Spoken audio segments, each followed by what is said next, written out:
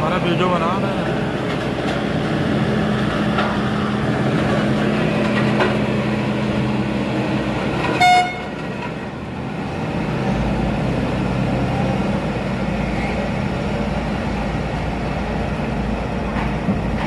गर्म है धुआँ निकल रहा है।